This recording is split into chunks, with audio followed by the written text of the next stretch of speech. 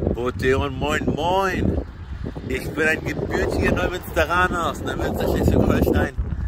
Einer Stadt, die heißt Neues Kloster, Novum Monasterium auf Latein, von dem geistlichen äh, Heiligen Vizelin, also Vizelin, wurde sie gegründet. Ist eine kleine Stadt. Heute hat sie, ich glaube, 82 oder 83.000 Einwohner. Keine Großstadt, keine Riesenstadt, aber sie hat alles, was man braucht. Sie hat Supermärkte, sie hat Friedhof, Hotels, hat sie, sie hat wirklich auch ein Krankenhaus, also man kann da echt gut leben und man kriegt alles Nötige, ne? Als Erwachsener oder auch als Kind. Es ruhig, ist friedlich, kleine Kriminalität, äh, hält sich in Grenzen, Leute reden viel. Aber manche von uns wollten mehr, manche von uns wollten die Welt sehen. Ich frage mich aber, ist es nötig?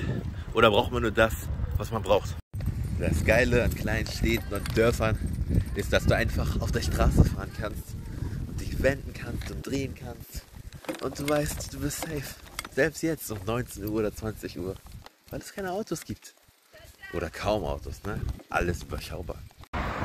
Ich bin eh kein Clubgänger. Konzerte brauche ich nicht, wenn ich alt bin. Zumindest dann werde ich Sitzplätze haben. Und Essen kann ich auch zu Hause gut, weißt du? Also das reicht, muss ich jedes Lokal kennen. Ich bin Introvert, ich bin gerne zu Hause, meine Liebsten um mich.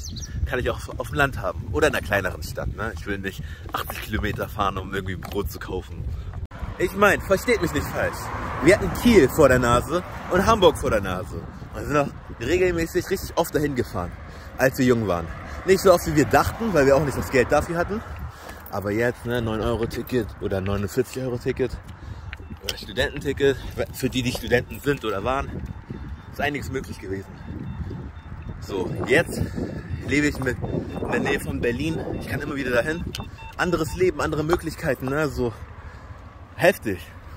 Und dennoch denke ich mir so, okay, wenn ich das gemacht habe, irgendwann ziehe ich mich zurück, lebe einfach gut mit der Familie, weißt du? Einfach nur mit meinen Liebsten. Wie ist es bei euch?